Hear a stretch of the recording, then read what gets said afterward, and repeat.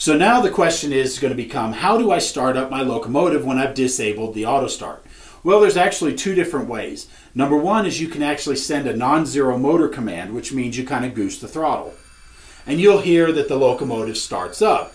Now, in this particular instance, I have interlock enabled, which means the decoder won't run until the diesel engine is running, which means I can give it a motor command and you don't see it start running until the diesel engines are up, running, and idle. And then once it settles up the second prime mover now, now you can see it's done through the startup sequence, so it starts moving.